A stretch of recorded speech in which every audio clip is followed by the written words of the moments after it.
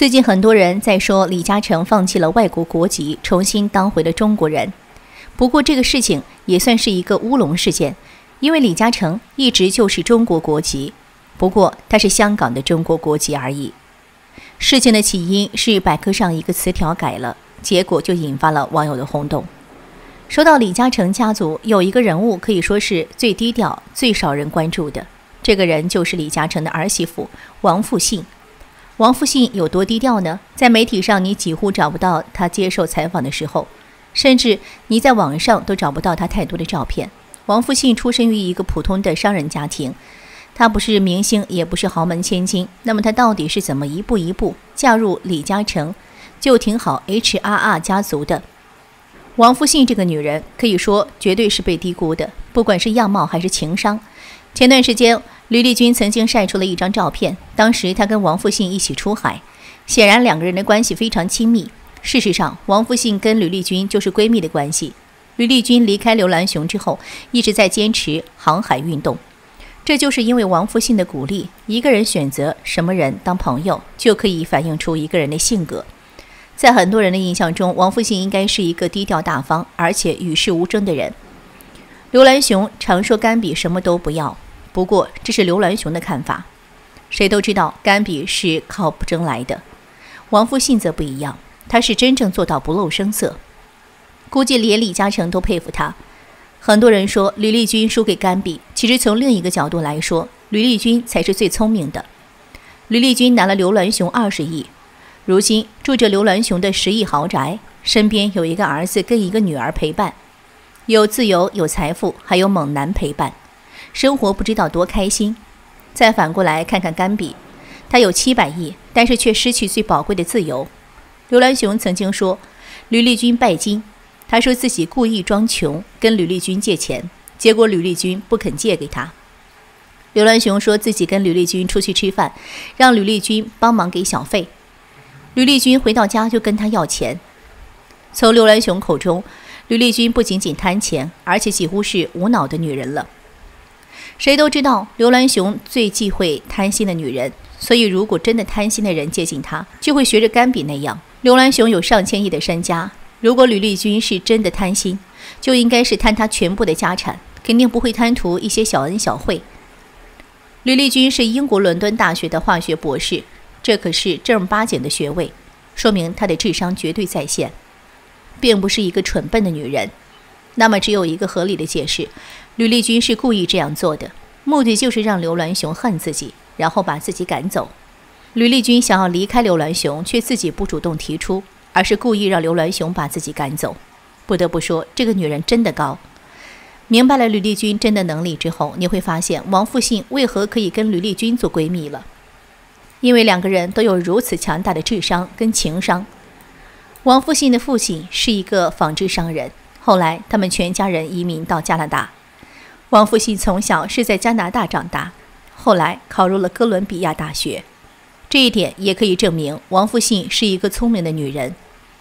二十一岁的那一年，王复兴参加了一个加拿大华人圈的烧烤聚会，当时李泽钜也参加了。李泽钜当时刚刚大学毕业，被父亲派到加拿大负责生意。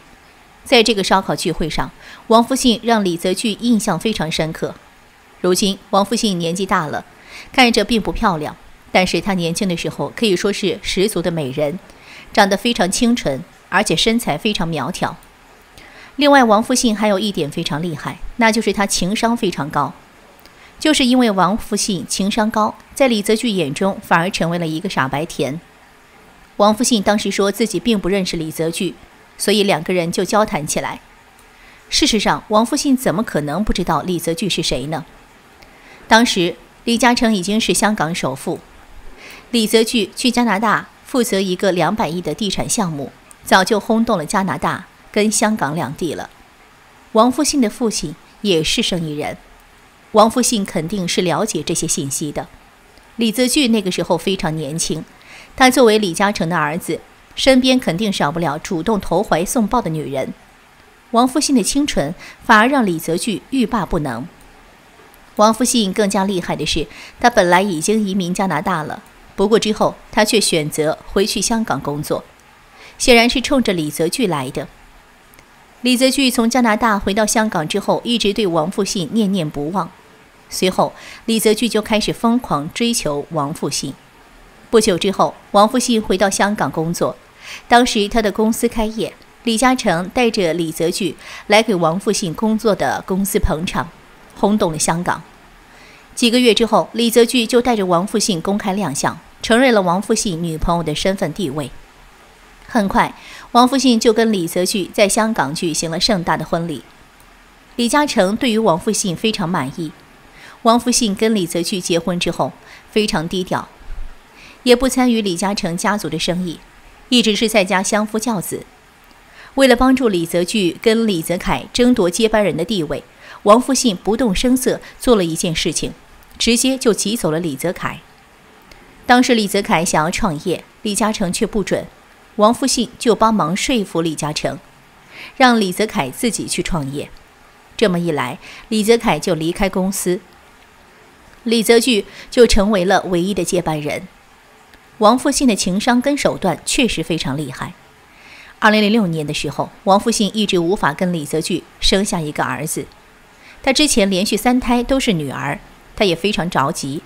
随后，他找着高人指点，把自己的名字给改了。结果，王复信真的在这一年生下了一个儿子，也是李嘉诚的第一个孙子。王复信跟吕丽君这两个女人，其实才是真正的高手。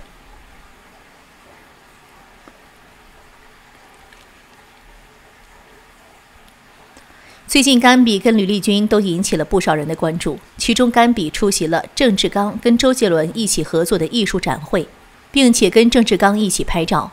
甘比的丈夫刘銮雄跟郑志刚的爷爷关系密切，不过郑志刚的父亲郑家纯却跟刘銮雄的前女友王婕妤搞在了一起，两人还一起生下了两个儿子。不过甘比并没有受到这些事情的影响，依然是大大方方跟郑志刚在一起。另外一边，吕丽君自从离开了刘銮雄，生活并没有受到影响，反而是生活的多姿多彩。最近。吕丽君跟自己的帅哥私人教练一起在豪宅里面大玩双人瑜伽，并且晒图到了网上，引起了关注。吕丽君自己还配图说，自己的教练非常紧张。吕丽君今年已经四十二岁了，但是依然是十分年轻。吕丽君看着就是二十多岁的样子，这得益于吕丽君多年以来健身的习惯。吕丽君不仅仅热爱健身，而且还喜欢瑜伽跟舞蹈。爬山等等，吕丽君常常在网上晒出自己运动的照片。吕丽君的这个私人教练也不是第一次出现在吕丽君的社交媒体上了。吕丽君跟刘銮雄分手的时候，获得了二十亿的分手费。虽然吕丽君有二十亿，却远远不及甘比的七百亿。甘比一跃成为了香港女首富，如今更是成为了华人置业的主席了。管理着这家香港最老牌的房地产公司，吕丽君的财富不过是甘比的零头，但吕丽君的自由也是甘比没有的。吕丽君如今自由自在，无拘无束，这是多少钱都换不来的。有的人羡慕甘比，有的人羡慕吕丽君。实际上，不同人的羡慕，不一样的人，也是体现了他们不同的人生价值。吕丽君跟何鸿燊的女婿辛其龙就是一类人，本来有着很高的智商，好好搞科研什么的也是前途无量，可惜却是宁愿进入豪门去趟这趟浑水。甘比则是出生底层，从小受尽了困难。甘比为了翻身，可以说是处心积虑，一步一步做到了今天的成绩。甘比先是当记者，后来又是利用了周星驰的关系进入了刘銮雄的公司。然后一步一步搭上了刘銮雄，然后逼走了吕丽君，自己成为刘銮雄的太太。甘比可以说是一步一步、步步紧扣，最终获得了成功。好了，以上是本期的内容。如果您喜欢我们的节目，欢迎订阅、点赞、转发，感谢大家的支持。